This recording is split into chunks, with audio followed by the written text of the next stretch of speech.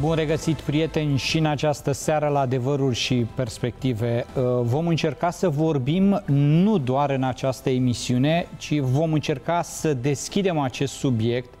De fapt, dacă mă gândesc bine și în urmă cu ceva timp, noi am discutat despre fanatism și radicalism. E un subiect care ne preocupă în aceste zile, pentru că îl vedem prezent uh, la fiecare pas. De aceea vă propun în această seară să atingem doar o mică latură a discuției noastre, pentru că avem de-a face cu un subiect complex. Îl vom aborda pe parcursul mai multor emisiuni. Însă în seara aceasta vreau să vorbim despre acest subiect pentru că uh, multe prejudicii a adus creștinismului și bisericii de-a lungul timpului. Rămâne în această seară să vedem în ce măsură biserica a fost afectată de fanatism și radicalism. Rămâne tot în această seară să încercăm împreună să înțelegem, să aflăm care sunt mijloacele prin care astăzi noi vedem și în biserică, dar și în societate, forme atât de agresive, pentru că nici n-ar putea cum să fie altfel, ale uh, fanatismului. De aceea vă invit să rămâneți alături de noi, pentru că este o discuție care are legătură cu biserica, are legătură cu scriptura și are legătură cu unele noțiuni pe care noi nu le înțelegem foarte bine. De aceea, în această seară vorbim despre fanatism, dar în același timp va trebui să vorbim și despre zelul spiritual pe care noi suntem încurajați de către Scriptură să îl avem. Uh, repet invitația de a rămâne alături de noi și de asemenea împreună sper ca să înțelegem cât mai bine acest subiect. Invitatul nostru din această seară este pastorul uh, Cristian Sălceanu. Bine te-am regăsit, Cristi, și mă bucur că ești din nou alături de noi. Bun găsit! Mulțumesc frumos de invitație! Cristi, de unde ar trebui să plecăm în demersul de a înțelege fanatismul sau radicalismul? Da, probabil că de la o definiție um, vine din vechime și aș zice că ce a fost în vechime trebuie bine balansat cu ce este astăzi. În, în vechime, fanaticii erau cei care, să zic, se duceau la templu, care aveau obsesie pentru templu, pentru credință, pentru elementele acestea de spiritualitate. Cei care mai târziu, să zic, ajung să fie numiți profani, dacă îmi spunem că a profanat ceva, însemna că ai cam intrat cu bocancii în locurile care altfel ar fi fost selectate ca, sau considerate ca sfinte. Astăzi însă poți să spui fanatic și celui care citește publicația fanatic, poți să spui fanatic și celui care are un tricou cu Barcelona, să zic, sau cu altă echipă în alt sport. Um, deci, definiția are sau acoperă două, două straturi. Unul ar fi foarte bogat în, în zona negativă și o să explic imediat cam, cam 3-4 elemente cheie care se regăsesc întotdeauna la așa ceva, dar are și un aspect pozitiv acela când, când abordează lucruri bune în care un om este efectiv entuziasmat de ceva. Și ăsta este un prim element, în, în, se regăsește în amândouă și anume un uh, zel, o, un entuziasm pe care unii îl vor spune că este mm, peste limite, este un pic uh, excesiv în uh, abordarea subiectului respectiv sau a, a unei mm, da, tensiuni, a unei probleme. Punctul al doilea ar fi că problema discutată sau abordată de un fanatic este în general una controversată. Nu vei găsi fanatic pe semințe de dovleac. Cum să mâncăm semințe de dovleac? Da? Cum să le spargi, ca mărgelatul sau, sau semințe de floarea soarele. Sau, da? Lucrurile de obicei sunt alea un pic spinoase, mai la limită. Uh, englezii spun hot potatoes. Îl țin eu un pic în mână până când mă arde și după aia, pac, ți l-am plasat ție că nu mai pot să-l țin și urmează tu acum să spui părerea ta, mi-l dai înapoi, da, pase de lucrul acesta. Um, o să ajungem probabil la ce fel de subiecte, ce fel de probleme ar fi așa controversate. Buba este mai degrabă la cum primești informația respectivă, cum o evaluezi, cum o dai mai departe. Ești spălat la creier, să o zicem tare așa, sau ești atent și strecor lucrurile.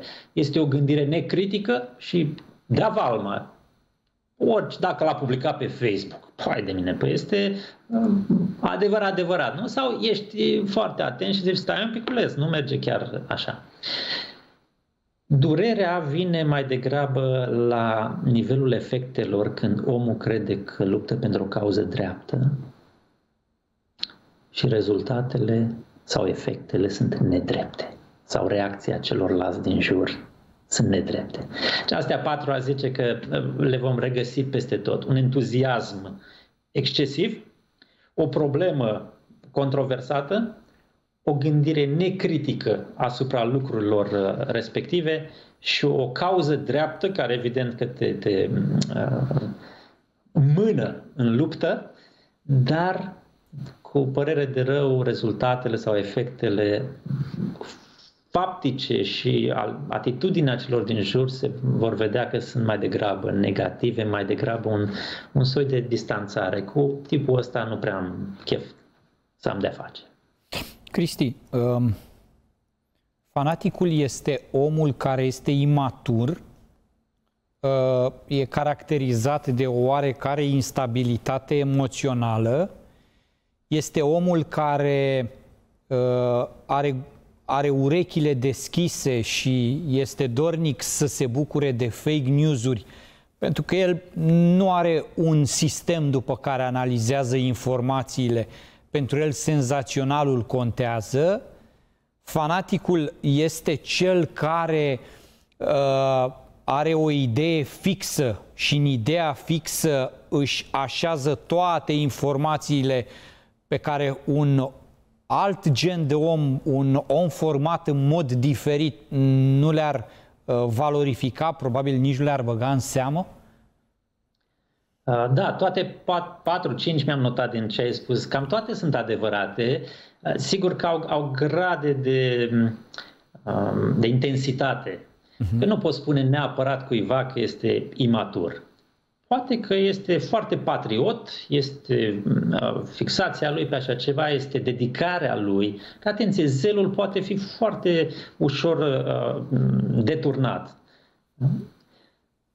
Aș spune mai degrabă, da, spre, spre zona cealaltă de o instabilitate, dar nu vreau să sune a jignire acum. Oamenii pot fi instabili și la mansardă și la emoții și uh, au bipolar și bla bla bla, toate lucrurile astea cu care suntem confruntați acum, de nu mai poți să spui nimic pentru că imediat se găsește cineva care zice, vai, eu sunt ăla și mai, uh, mai atins pe mine. Um, chestia asta cu ideea fixă, mi se pare că e, e punctul fix în, în lucrul ăsta. Mi-aduc aminte de un um, mare teolog, zic acum al bisericii din care fac și faci parte, Raul Dederen. Omul era atât de doxă da, de carte încât atunci când apărea o problemă de asta controversată și apăreau și fanate și apăreau poziții radical diferite, um, cei din conducerea bisericii apelau la el să-l întrebe, omule, cum stă treaba? Mi-a, mi-a plăcut mult ideea lui și zice, luam subiectul respectiv și îl cercetam trei luni de zile. Trei luni de zile. Omul era teolog sistematician, deci avea perspectiva largă și, și spunea el așa, trei luni de zile mă dedic subiectului respectiv. Ai putea spune, ok, e fanatic, trei luni de zile numai, cu, numai asta visează întotdeauna își impunea ca să ajungă la o rezoluție, da? să dea o, un răspuns, o explicație, o, o abordare, o perspectivă din zona creștină, adventistă, biblică. Și spunea el apoi, a, a, asta mi-a atras atenția cel mai mult, zicea, iar după trei luni de zile, subiectul respectiv este out. Și mă reîntorc la viața mea normală. Și ai zice, dar cum așa? Dacă dacă acum ai clarificat lucrul respectiv, dacă uh, acela parcă devine cheia de acum să înțelegi alte lucruri, el spunea, nu, nu, nu, nu, devine, tu ai zis lentilă, uh, devine un soi de filtru prin care de acum interpretezi toată realitatea. Și dacă filtrul ăla e verde, ghici dacă mai vezi vreun verde dincolo de el. Sau dacă filtrul respectiv este într-un fel anume, da? Și noi spunem astăzi biased, Dacă îți confirmă propriile tale așteptări și încredere și așa, e bun. Dacă nu, s-a zis cu el. Deci aș zice mai degrabă a, să fim atenți la ideile fixe, să nu fim oamenii unor idei fixe. Asta nu înseamnă să fii acum bătut de vânt, dar să fii deschis, ai aflat, ai catalogat apoi lucrul respectiv și îl pui într-o imagine mai largă, unde alături de alte filtre, alte interpretări, alte lentile te ajută să vezi imaginea de ansamblu. Altfel vei vedea că, într-adevăr, oamenii uh, fanatici au o idee fixă și asta îi face apoi să ajungă instabil. De ce? Pentru că ideea aceea fixă merge doar într-un context anume. Și când o aduci în, în viața reală, creează, creează tulburare, creează uh, stări de. Um, chiar, chiar asta aș spune, o stare de instabilitate pentru că omul se așteaptă ca lumea să fie într-un fel și uite că lumea îi face surprize pentru că ghici ce? Nu este cum credea el, cum a procesat el toată informația de până atunci. Cristi, cum identificăm un fanatic?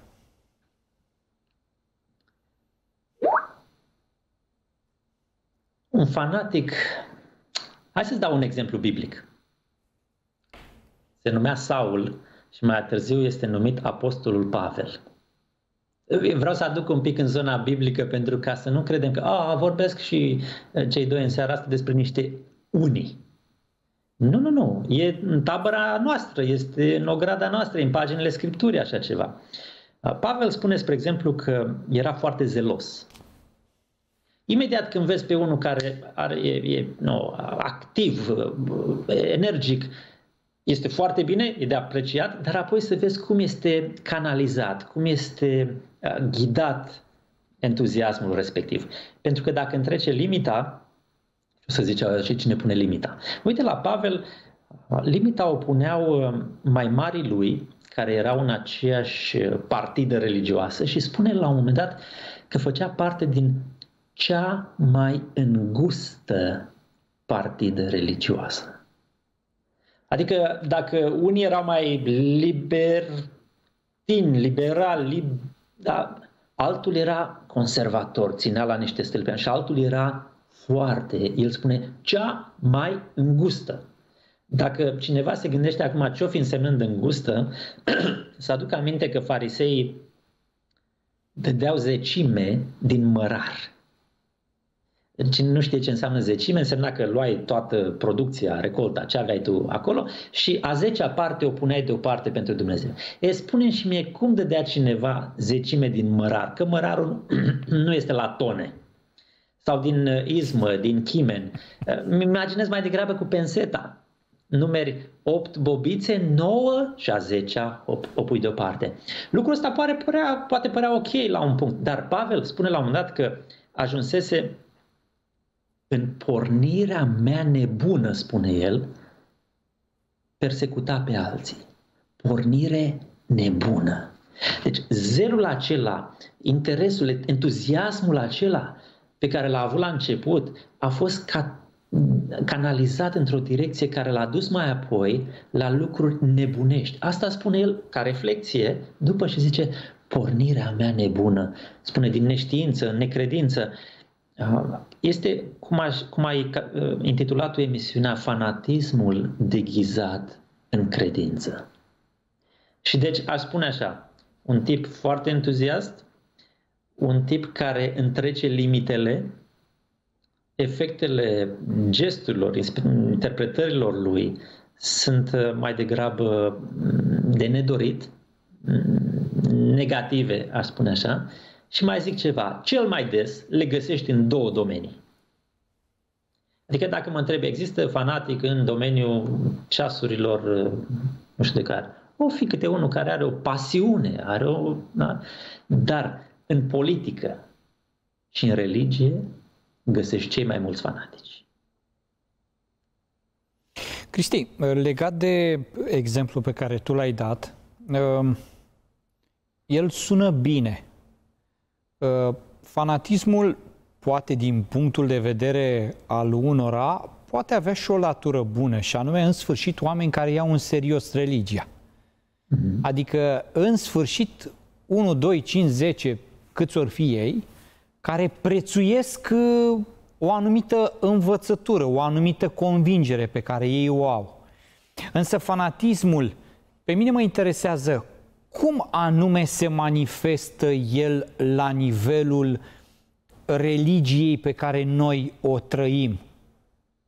Dacă ar fi să mă ofer niște exemple astăzi, cum ar suna exemplele respective? Cum m-aș identifica pe mine dacă sunt în situația asta? E clar, cumărarul nu cred că ne mai caracterizează, adică trăim într-o societate uh, urbanizată și eventual dacă ai o recoltă de mărar, pătrunjel, leuștean și alte verdețuri de tipul ăsta, uh, nu știu, n-am auzit sincer să fiu de o preocupare de tipul ăsta. Nu zic că n-ar exista, nu zic că n-ar exista, însă noi am dus la un alt nivel uh, fanatismul, adică am părăsit mărarul.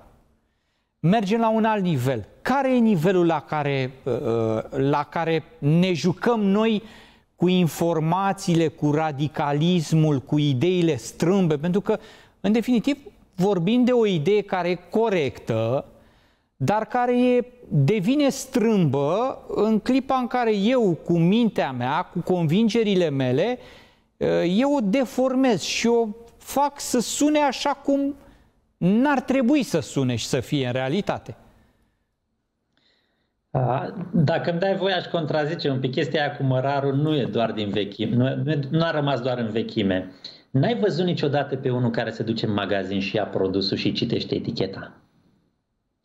Și dacă în eticheta da, aia... Ești preocupat, în Cristi, ești preocupat de stilul de viață sănătos. Adică acum, cel puțin în uh, România, la momentul ăsta, cu amenziile care se dau uh, și cu protecția consumatorului, care tot verifică diverse supermarketuri, acum citești eticheta și pentru că vrei să fii sigur că nu mănânci nu știu ce mâncare expirată. Adică înțelegi cumva drumurile secundare pe care mă duc.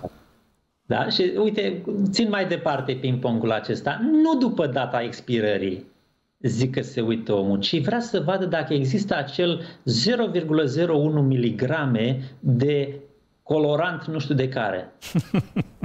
Da? Și întrebarea este, face ca toată viața ta sau mâncarea ta sau stilul tău de viață să fie legat de acel vârf de ac.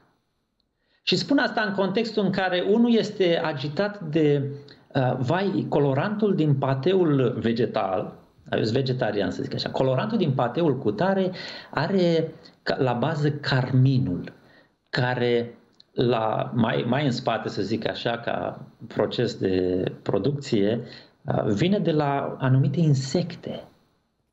Și atunci te gândești dacă mai ești vegan sau nu, dacă este bine sau nu, dacă insecta respectivă este din alea bune sau nu. Dar același om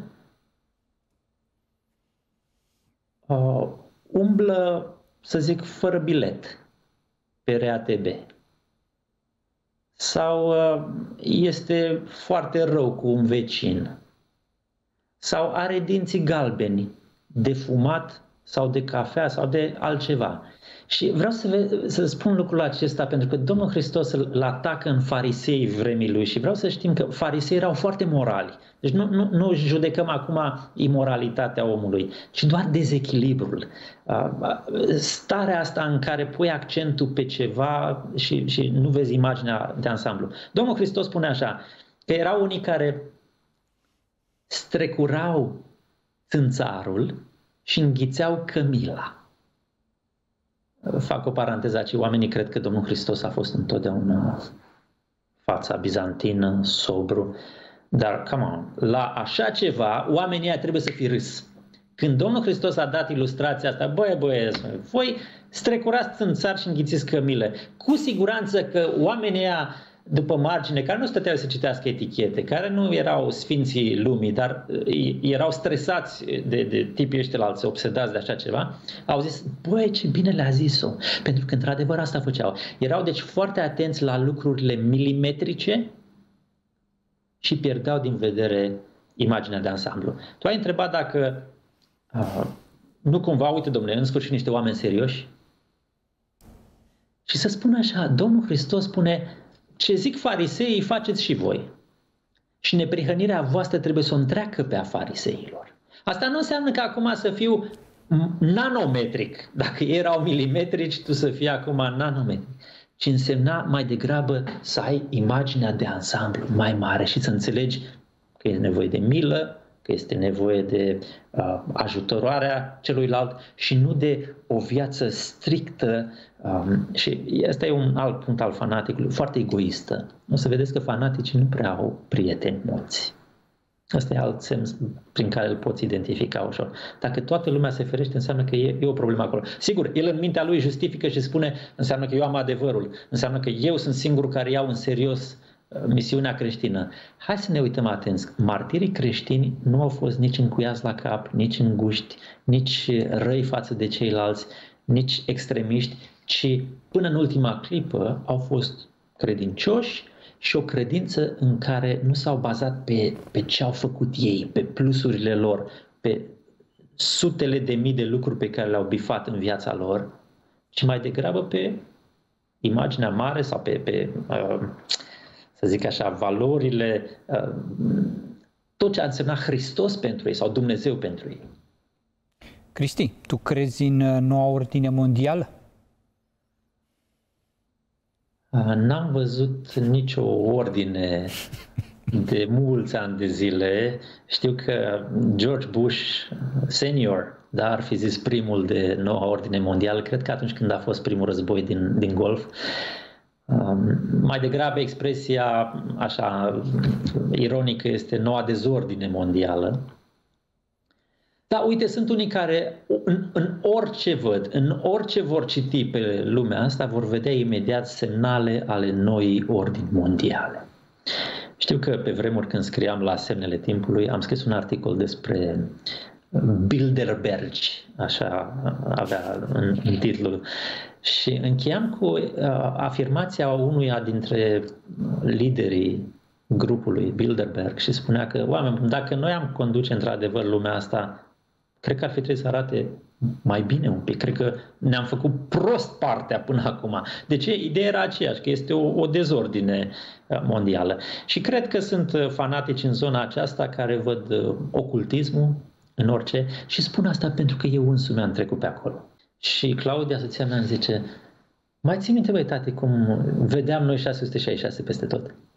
Și am înțeles că a fost o etapă un, un adevăr pe care l-ai văzut, ai devenit entuziasmat de el, dar după o vreme te dai un pic înapoi, vezi, repet ideea asta, vezi o imagine mai de ansamblu și îți dai seama că lucrurile nu se judecă toate prin lucrul acela. Altfel, și în sigla de la Google, și în sigla de la Vodafone, și în, într-o grămadă de lucruri tu poți să vezi numai asta.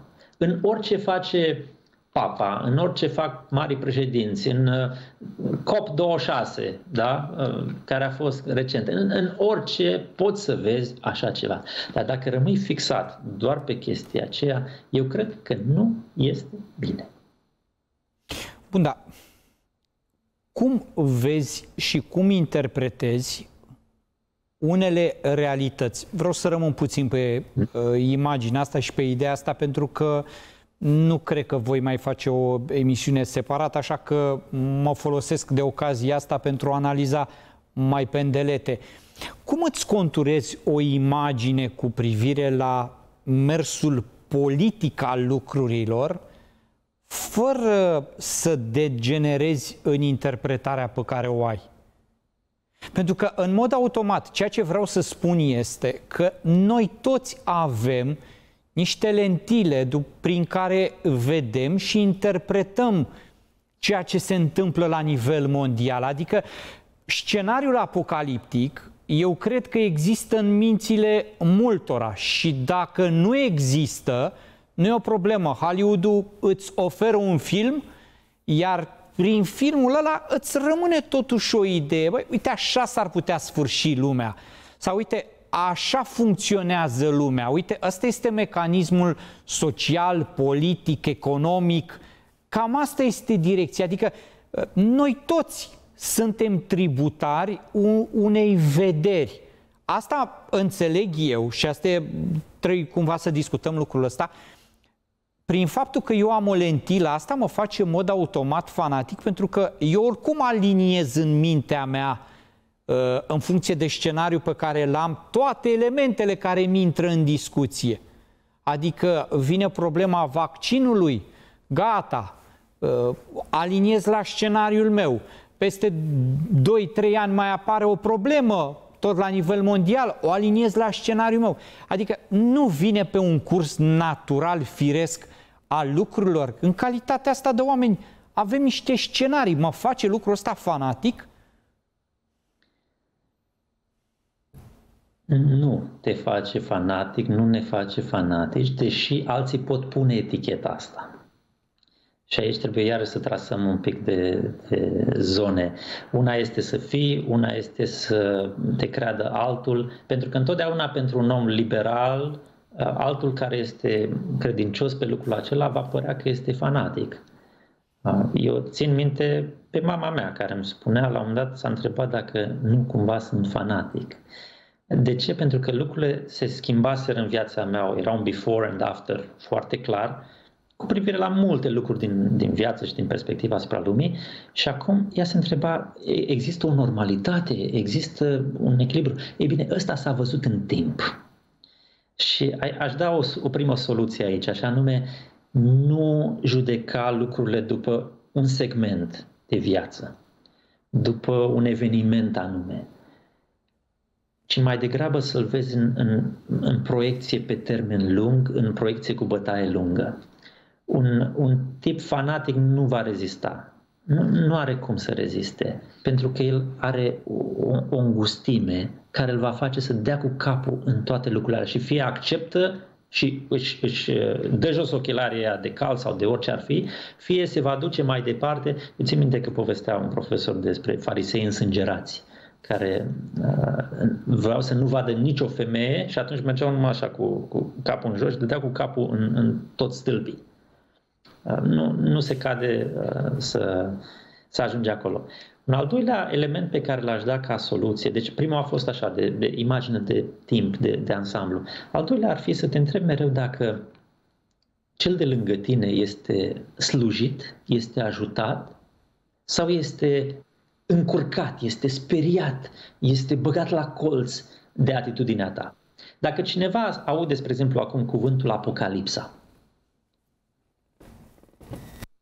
întrucât l-a judecat prin filtrele Hollywoodului, va spune că ideea de apocalipsă, apocaliptic, este sfârșitul lumii, sânge, fiare, nenorociri. Da?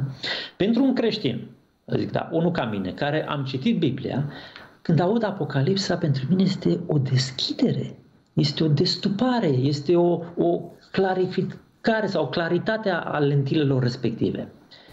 Și zic, deci, al doilea ca soluție pe care aș vedea este să, să vezi cum sunt cei din jurul tău. Dacă cei din jurul tău sunt speriați de tine sau de speriați de mesajul tău, sunt încurcați, sunt bulversați, sunt, sunt băgați la colț, mereu uh, acuzați, atunci nu cred că este bine. Iar al treilea este să ne verificăm noi înșine după modelul Iisus Hristos. Și mă întorc din nou la Pavel, care uh, a fost foarte zelos plin de credință, judeca lucrurile și probabil că în registrul lui, în, în imaginea, în sistemul lui pe care îl, îl preluase, lucrurile aveau sens, merita să-i persecuți pe creștini pentru că era o sectă, pentru că erau niște extremiști, pentru că veneau cu o răsturnare a valorilor naționale, religioase, culturale. Și atunci el, cu siguranță că avea justificat în mintea lui, dar când s-a întâlnit cu Dumnezeu, pe drumul spre Damasc, acolo a avut loc răsturnarea lucrurilor ăsta. Și aș zice așa, nu merită să tragi pe un fanatic cu forța din uh, sistemul lui, din viața lui. Mai degrabă să-i spui, uite, îți spun ce reacție, ai tu, ce reacție am eu față de ceea ce spui, ce reacție are familia, soția, copiii, vecinii, nevastă, uh, uh, rudele din, din cercul mai larg și apoi să spui, uite, ce citești tu, ridic așa Scriptura, ce citești tu în Scriptură? Este după ceea ce faci tu sau nu? Pentru că, și am, am Biblia deschisă acum la un verset din uh, Evanghelia după Ioan, capitolul 16, unde Iisus Hristos spune așa, Ioan 16 cu 2, au să vă dea afară din sinagogi, pe cine? Pe creștini, ba încă va veni vremea când oricine vă va ucide să creadă că aduce o slujbă lui Dumnezeu. Bun, asta este fanatismul acela la extrem, care tocmai este, în titlul emisiunii tale, este deghizat în credință, adică există riscul acesta de a crede că aduce o slujbă lui Dumnezeu, o jertfă lui Dumnezeu. Tu faci o lucrare bună și în realitate tu să faci altceva. Reiau, deci, pentru mine, cele trei filtre pe care zic să le, le folosim, să le aplicăm, este o imagine de ansamblu pe termen lung a, a lucrului, atitudinii respective, a, a inițiativei pe care o ai, a, apoi este ce efect are față de aproapele tău și a treia este relația ta cu Dumnezeu. Ești după ceea ce stă scris, ești după modelul lui Hristos sau ești după fixul tău. Închei cu un exemplu foarte curat în, în Evanghelie, ucenicii merg după Domnul Hristos, sunt în grădina Ghețimani uh, și când să fie arestați, ei scot niște săbii. Și ai zice, cum așa? Ucenicii lui Hristos au niște săbii. Ții minte că Petru a scos-o și a tăiat. El a fi vrut să taie gâtul, dar a nimerit uh, doar urechea prodului respectiv. Și mai devreme un pic este punctul în care ucenicii îi spun Domnului Hristos, avem două săbii. Și Domnul Hristos le zice, destul. Nu, nu, n-ați priceput nimic. N-a zis destul în sensul că a, două ne ajung, îi omorâm pe toți. Și a zis, băieți, nu, e, voi sunteți pe o direcție cu totul greșită. Și a fost nevoie de o criză majoră în viața lui, în viața lor, ca ei să, să-și schimbe perspectiva asta. Cristi, mai văd o, mai văd o dificultate la un alt nivel și anume cu siguranță ai întâlnit uh, oameni de felul ăsta, adică mm, oricine trăiește în spațiul acesta religios uh, întâlnește uh, un astfel de om. Cel pe care toată lumea îl vede ca fiind fanatic, însă el nu se vede așa. Și mai are și sindromul persecuției. Adică dacă îi spui acelui om uh, Uh, uite cum stau lucrurile, uite aici trebuie să fie echilibrat, îi arăți din scriptură cum ar putea să stea lucrurile dacă vine vorba de o discuție pe baza scripturii, interpretarea lui este următoarea, și anume nu, toată lumea este greșită. Eu sunt cel care am uh, uh, cel, sunt cel care port adevărul în mine, eu sunt singurul vestitor al adevărului. Ceea ce vreau să spun Uh, sună în felul următor și anume fanaticul nu se recunoaște ca fiind un fanatic, ci fanaticul se vede ca fiind uh, ultimul apărător al dreptății și al adevărului. Mai adauge aici uh, sindromul ăsta al persecuției care le ajută să pară și să iasă martir, cel puțin în mintea lui, și ai, ai un fel de mâncare cu de toate – dar în, ace- în timp ce ai această mâncare cu de toate, nu trebuie să uităm prejudiciul pe care el îl creează și bisericii, îl creează și creștinismului, îl creează și imaginii lui Dumnezeu pe care noi considerăm că omul o poartă și o transmite prin ceea ce face. Întrebarea este aceasta. Merită să te lupți cu un fanatic? Să îi clarifici faptul că e pe un drum strâmb, prima întrebare. A doua întrebare. Are rost să îl contrazici din moment ce ia, dacă el asta crede, n-are rost, n-ai cum să-l iei de pe drumul lui. Și trei, îl putem ajuta să-și dea jos ochelarii și să-și pună o altă pereche de ochelari?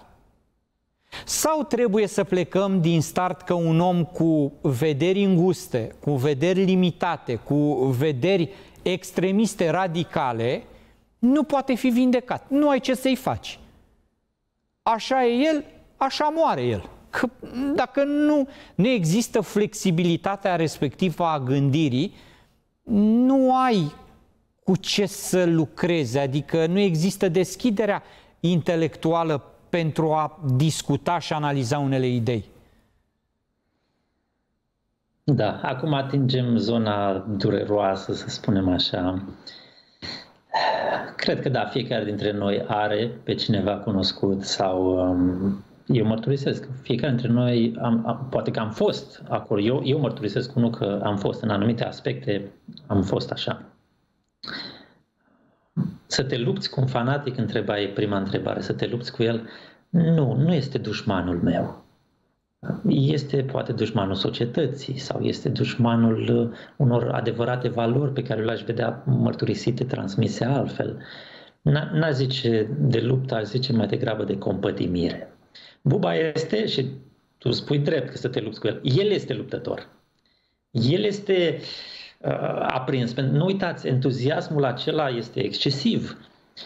Uh, și atunci să zici, uh, poți să-l întrebai a doua întrebare, dacă să-l contrazici sau nu. Când uh, în America protestanții aceia, protestatarii, sorry, uh, au luat cu asalt Capitoliu cu gândul să oprească numărătoarea voturilor uh, pentru Trump, au fost acolo foarte mulți oameni adulți, unii chiar spre seniorat. Și am citit un articol despre copiilor, poate de vârsta mea, ta, care acum întrebau, oameni buni, ce să facem cu părinții noștri? Pentru că parcă sunt croiți pe chestia și nu... Și am citit deci un, un, un astfel de articol în care era menționat un studiu ce afirma așa, pentru un fanatic, pentru un tip care este obsedat pe un lucru anume, argumentele nu au valoare. Deci tu poți să vii, I'm sorry să spun asta, tu poți să vii cu 100 de mii de argumente, nu vor avea rezultat. Poate că dacă este într-o fază incipientă, poate că dacă, eu știu, un alt cadru, un alt context așa de excepție, dar în realitate, în, în statistic vorbind, pe un om nu îl schimbă argumentele. Îl schimbă alte două lucruri. Eu o să mai dau și un al treilea. Îl schimbă, repet, relația celor din jur.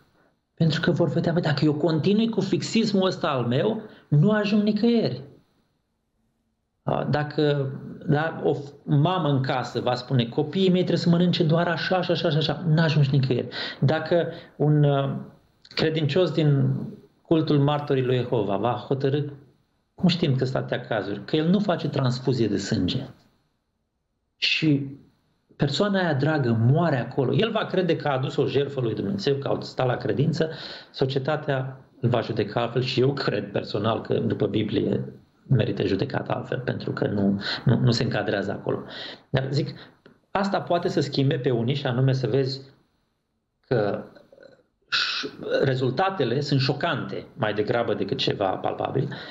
Al doilea lucru pe care îl spuneau aceștia este, și ține cont, fanaticul este fix ca acela care este într-o sectă anume. Și acolo ai un lider, ai un platformă, program, vezi lucrurile doar în felul acela, ești izolat de societate, crezi doar ce ți se spune și mai departe. Și spuneau ei că majoritatea celor care se întorc de la de obsesie de asta, un fanatism, un, un, un sectarism de felul acesta, se întorc atunci când sistemul lor pică. Da? Deci, ce înseamnă? Ce secta înseamnă? respectivă să alege praful de ea. Liderul grupării respective sau al ideologiei respective îl vezi că una ți-a predicație și altceva a fost el în realitate. Și când oamenii ajung la capăt și văd falimentul propriului lor sistem, atunci se întorc.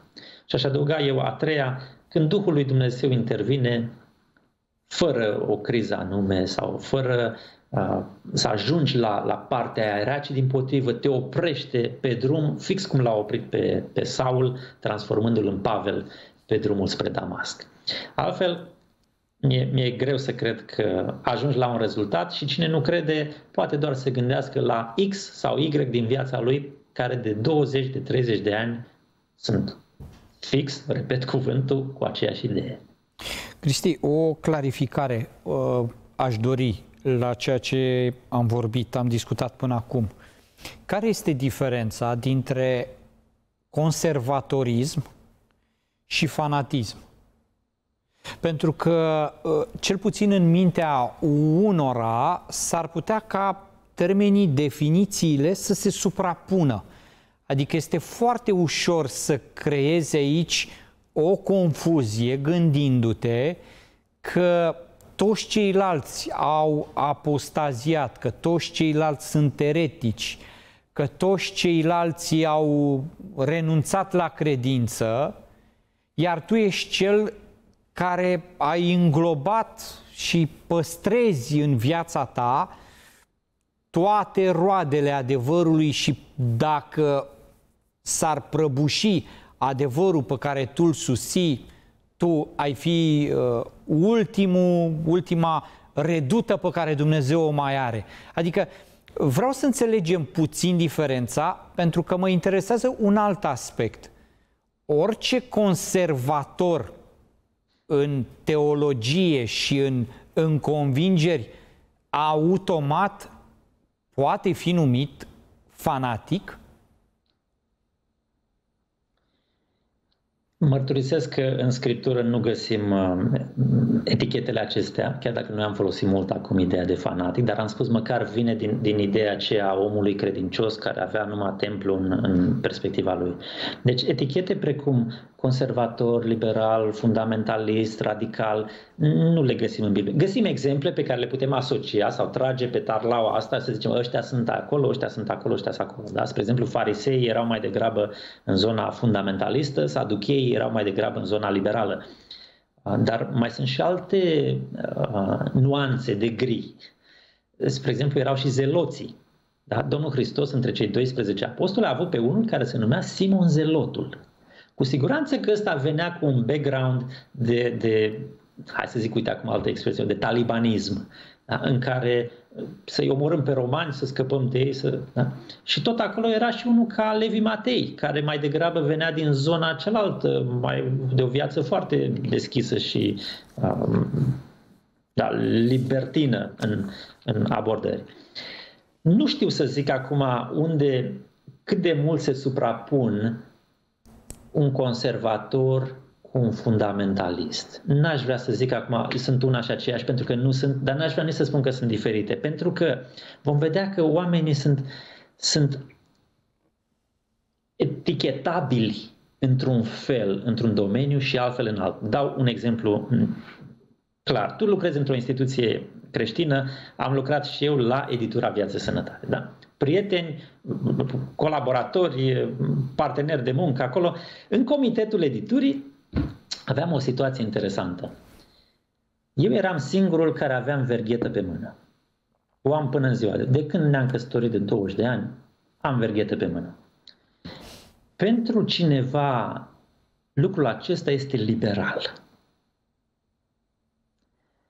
În același timp, eu la cu verghetă eram singurul vegetarian. Și atunci zici, după ce să pun eu o etichetă astăzi? După care e filtru să zic X este așa, Y este așa? Și cred că ajungem din nou la, la o esență a problemei și anume dacă vezi totul printr-o singură lentilă, dacă pui un singur filtru, dacă o persoană întreagă este redusă la un singur element cheie pentru el definitoriu, atunci nu, nu este bine. Mai degrabă să avem, repet, o imagine uh, mai de ansamblu și să vedem în ce sunt conservator. Ce conserv cu adevărat? Conserv niște tradiții, niște uh, porunci omenești care nu mai au astăzi nicio... Că și, și farisei se puteau considera conservatori. Ei țineau la adevărul de 2000 de ani pe care îl aveau de la Avram. Sau uh, vei fi un conservator în ceea ce privește niște stâlpi ai credinței, niște valori, niște lucruri care aduc un bine societății. De asemenea, am putea spune la partea cealaltă, dacă ești liberal sau dacă ești uh, radicalist dacă ești fundamentalist. Uite, eu aș putea să spun că sunt fundamentalist în ceea ce privește Biblia. Adică o consider ca o temelie, un fundament al vieții mele. Dar pentru altul, doar eticheta aceasta ar însemna că a, individul ăsta vede numai așa, dacă Scriptura zice așa e bine, dacă nu, n-ai cu cine să te înțelegi. Cristi, provocator cel puțin ultimul răspuns, cel legat de catalogarea oamenilor și etichetele pe care noi le stabilim mă gândesc să luăm în discuție cumva în viitor subiectul ăsta, dar la câte avem de discutat, uh, cred că îi va veni uh, mult, mult mai târziu uh, spațiu pentru dialog. Mai avem doar câteva minute din emisiunea noastră și aș vrea să te rog să ne ajuți cu un rezumat al discuției noastre, să schițăm câteva idei, pentru că ne-am dus în diverse, în diverse zone și am folosit diverse exemple. Tu te-ai întors de fiecare dată la scriptură, însă cred că ne-ar ajuta pentru cristalizarea ideilor să le punctăm la momentul acesta și să rămânem cu ceva. Și o să te rog, în final, să-mi spui care este poziția pe care tu o vezi ca fiind, chiar dacă nu o să ai timp să o argumentezi. Da, deci asta e clar, deci nu o să ai timp să o argumentezi, însă ar fi interesant de văzut care este opusul fanatismului. Că ce, ce remediu vezi tu, ce abordare o vezi tu ca fiind potrivită în situația uh, pe care noi o trăim astăzi. Din totdeauna fanatismul a existat, dar parcă astăzi trăim forme din ce în ce mai agresive. Cele patru elemente pe care le-am spus la început uh, ar merita repetate și anume fanaticul are un entuziasm excesiv. Poți să-i spui și pasiune, dar biblic este mai degrabă zel, zelos, zelot. Da? Individul acela care spunea Pavel, da? în, în pornirea mea nebună, zicea el. Da? Deci, în, în secunda în care văd pe cineva care are o venă umflată aici, așa, sau uh, îmbujorat, sau foarte. Uh, n-are aer suficient cât să respire, să, să prezinte lucrul respectiv, zici, hopa, cool down, poți să vorbești relaxat de lucrul ăsta sau, păi da, dar va zice, este important, este așa. Subiectul este în general unul controversat. Repet, nu este despre pâine, despre apă, despre gigacalorie, despre, nu știu, lucruri generice sau generale, ci noua ordine mondială, ecumenismul, masoni, poziții radicale în ce privește chestiuni complexe. Dacă erau simple, se rezolvau ele de mult. Avort, eutanasiere, stil de viață, gender identity, um, alții duc către, către lucruri eh, radicale în sensul acela absolut. Astăzi ne, ne critică lumea pentru cruciade. Cruciadele au avut în spate așa ceva. Iar astăzi, când vezi creștini să facă o răzmeriță, să iasă în stradă, să... Nu, nu cred că este bine.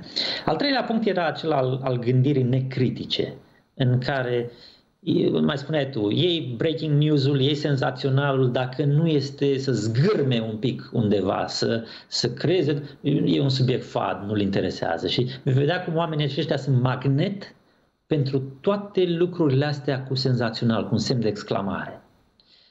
Iar al patrulea lucru este acela că oamenii aceștia cred că au o cauză dreaptă, că adevărul este la ei. Tu ai spus de câteva ori mohicanul, să zic așa, ca ultimul mohican, da, singurul, ultimul apărător, bastionul. Era o glumă odată. Ce a făcut penultimul mohican? Penultimul mohican l-a omorât pe ălalt ca să rămână el ultimul.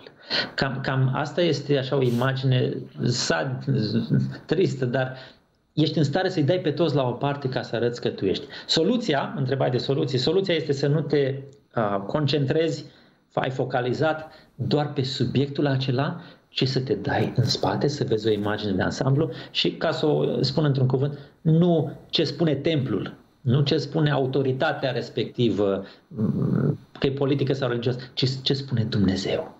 Și aia te va salva.